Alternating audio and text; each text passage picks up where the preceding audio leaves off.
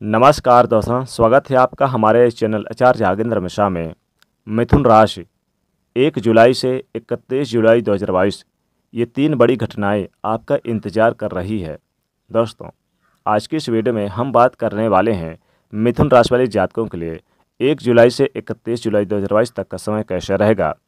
जुलाई के महीने में वह कौन सी बड़ी घटनाएँ हैं जो आपका इंतज़ार कर रही है? जुलाई के महीने में आपका करियर कैसा रहेगा? आपका बिज़नेस व्यापार कारोबार कैसा रहेगा? आपका पारिवारिक जीवन, वैवाहिक जीवन, दाम्पत्य जीवन कैसा रहेगा? आपकी लव लाइफ स्वास्थ्य एजुकेशन कैसा रहेगा? विदेश की स्थिति कैसी रहेगी? साथ ही साथ, धन की स्थिति कैसी रहेगी? तो चलिए, सबसे पहले हम बात कर लेते हैं आपके तमाम ग्रह गोचरी स्थितियों के बारे में। फिर हम बात करेंगे कि आपका व्यापार करियर कारोबार एजुकेशन लव लाइफ कैसी रहेगी। तो देखिए, मिथुन राशि के जुलाई के महीने में ग्रहों के राजा सूर्यदेव मिथुन राशि में सत्रह जुलाई तक रहेंगे। इसके बाद कर्क राशि में गोचर कर जाएँगे और मंगल देव मेष राशि में रहेंगे। बुध ग्रह जो आपके राशि के स्वामी हैं, वृषभ राशि में दो जुलाई तक, इसके बाद मिथुन राशि में और सोलह जुलाई को एक बार फिर से कर्क राशि में सूर्यदेव के साथ बुद्धादित्य राज्यों का निर्माण करेंगे। जुलाई के महीने में गुरु ग्रह मीन राशि में उनतीस जुलाई तक मार्गी रहेंगे। इसके बाद वक्री अवस्था में आ जाएँगे। और शनिदेव कुंभ राशि में रहेंगे। 12 जुलाई को ये वक्री होते हुए मकर राशि में यानी कि वापस आ जाएँगे। शुक्रदेव वृषभ राशि में 13 जुलाई को मिथुन राशि में तो त्रिग्राही राज्यों का निर्माण होगा।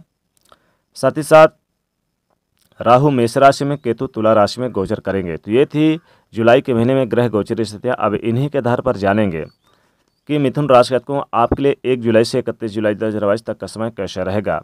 किस प्रकार से, कौन सी बड़ी घटनाएँ हैं जो आपका इंतज़ार कर रही है?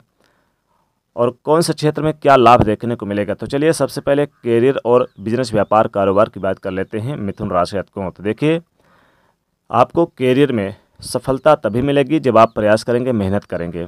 आपको दिन रात मेहनत और फोकस करना होगा अपने कारोबार पर। अपने करियर पर आपको ध्यान रखना होगा। नौकरी की स्थिति आपको सामान्यतः मिला जुला कर देखने को मिलेगी। न बहुत ज़्यादा अच्छी रहेगी और न ही बहुत ज़्यादा खराब। मेहनत करनी पड़ेगी, जो काम आपको मिला है, जो जिम्मेदारियाँ मिली है, उसे हर हाल में आपको पूरा करना पड़ेगा। बड़े अधिकारियों को भी आपको खुश करना पड़ेगा, उनको साथ लेकर चलने की ज़रूरत होगी, उनके साथ आपको अपने रिश्ते को मज़बूत करना होगा। मिथुन राशि को कोशिश करें कि आप अपने दिनचर्या में बदलाव भी लाएँ और कारोबार की बात करें, बिज़नेस व्यापार की तो देखिए बिज़नेस व्यापार में भी आपको, यानी कि कोई महत्वपूर्ण डील हाथों में आते आते रुक सकती है। तो दूसरी बड़ी घटनाएँ एक पहली जो आपको करियर में और दूसरी बड़ी घटना यानी आपको बिज़नेस व्यापार में। तो देखिए, आपका रुका हुआ फंसा हुआ धन सिर्फ़ पाँच परसेंट ही मिलेगा। पार्टनर में बिज़नेस व्यापार करें तो पारदर्शिता रखें, ईमानदारी के साथ आगे बढ़ें। अब यहाँ पर देखिए, आपको लोन वगैरह भी रोक सकते हैं।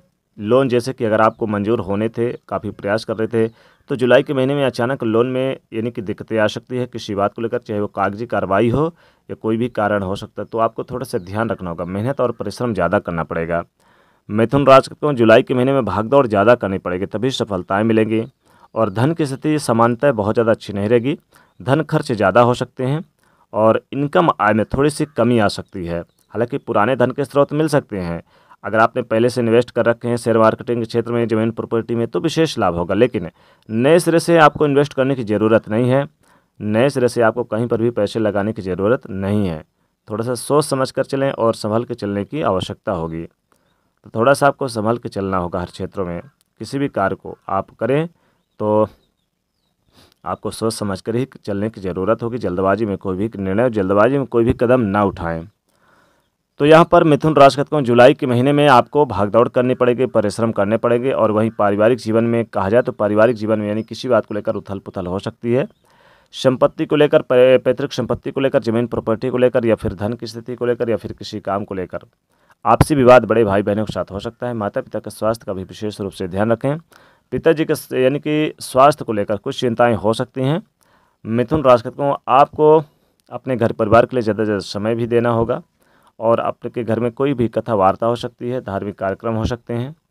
साथ ही साथ यहाँ पर आपके घर में, यानी कि जो बड़े भाई बहनें हैं, उनके साथ मिल बैठ कर कुछ महत्वपूर्ण बातें भी कर सकते हैं, भविष्य की प्लानिंग बना सकते हैं।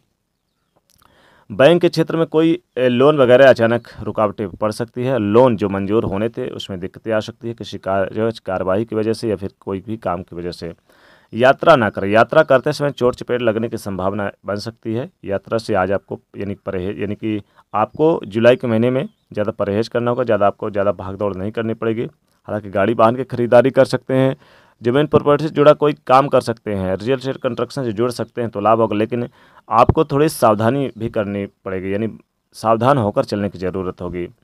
साथ ही साथ मिथुन राशि को, हमने पहले कहा कि ये तीन बड़ी घटनाएँ होकर रहेंगी तो आपको विवाद और एग्रेसिव बिल्कुल नहीं करना है। यानी कि विवादों से दूरी बनाए रखना है एग्रेसिव नहीं होना, क्रोध नहीं करना है। लड़ाई झगड़े से आपको दूरी रहना है।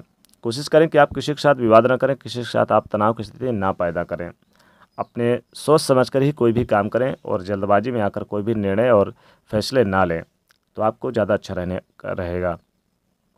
मिथुन राशि को भागदौड़ के साथ साथ यानी कि इस महीने की शुरुआत रहेगी और हालाँकि कई प्रकार के ग्रहों की युति बन रही है तो आप उन्हें यानी कि इसमें बुज़ुर्गों का साथ मिल सकता है, बड़े लोगों से आपको कोई सलाह मिल सकती है सही।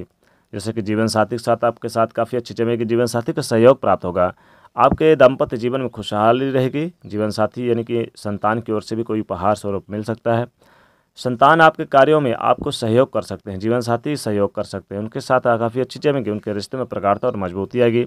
तो धन की स्थिति बहुत ज़्यादा अच्छी नहीं रहेगी, लेकिन आपको आपका काम नहीं रुकेगा। आपका काम यानी कि चलता रहेगा, लेकिन आपको कहीं पर भी फालतू इन्वेस्ट करने से बचना होगा जुलाई के महीने में। आपको यानी कि खर्चों पर नियंत्रण बनाए रखना होगा। हालाँकि स्वास्थ्य संबंधी चीज़ों में खर्च हो सकते हैं। स्वास्थ्य में यानी स्वास्थ्य आपका भी गिर सकता है, आपके घर परिवार में जीवन साथी का और आपके घर परिवार में भाई बहनों का पिताजी के स्वास्थ्य में भी नरमी देखने को मिल सकती है, इसलिए थोड़ा सा ध्यान रखें। सर्दी, जुकाम वायरल बुखार की समस्याएँ आ सकती हैं खान पीन की चीज़ों में ध्यान रखें। और मिथुन राशि को जुलाई के महीने में आपको विदेश की स्थिति यानी कि बन सकती है, विदेश जाने की योजनाएँ बना सकते हैं। विदेश में जाकर कुछ महत्वपूर्ण कार्य कर सकते हैं, व्यापार वगैरह या फिर कोई नौकरी वगैरह ले सकते हैं, घूमने फिरने जा सकते हैं। शिक्षा के क्षेत्र से जुड़ यानी आप जा सकते हैं, जैसे कि बड़े संस्था में दाखिला लेने जा सकते हैं। तो यहाँ पर देखा जाए तो देखिए, प्रेम संबंधों में भी काफ़ी अच्छी रहेगी, लेकिन प्रेम संबंधों में किसी बात को लेकर तनाव की स्थिति बन सकती है। किसी तीसरे पक्ष की वजह से आपस में दूरियाँ बढ़ सकती है, इसलिए थोड़ा सा ध्यान रखें, एक दूसरे का सपोर्ट करें, एक दूसरे का मान सम्मान करें, तभी चीज़ें बेहतर होगी। और शिक्षा के क्षेत्र में आपको कंपटीशन प्रतियोगी परीक्षा में भाग लेने का मौका मिलेगा। इंटरव्यू में आपको देने का मौका मिलेगा। तो स्वास्थ्य का विशेष रूप से ध्यान रखें खान पीन की चीज़ों में भी परहेज करें। और किसी को उधार कर्जा न दें, किसी के साथ लड़ाई झगड़े ना करें, इन चीज़ों का विशेष रूप से ध्यान रखें जुलाई के महीने में मिथुन राशि को। तभी चीज़ें बेहतर होंगी।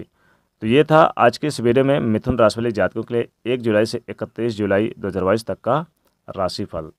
तो दोस्तों, वीडियो को लाइक ज़रूर करिएगा, नए तो चैनल को सब्सक्राइब करिएगा और इसे शेयर करके बेल आइकन को प्रेस ज़रूर करिएगा।